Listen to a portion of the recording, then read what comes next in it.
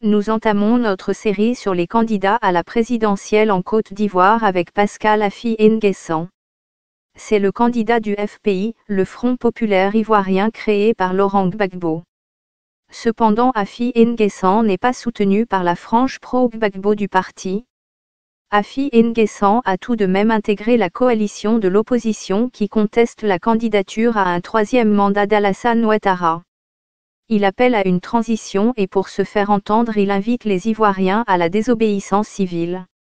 L'opposant ivoirien Pascal Affi N'Guessan est interrogé par Valérie Bonny.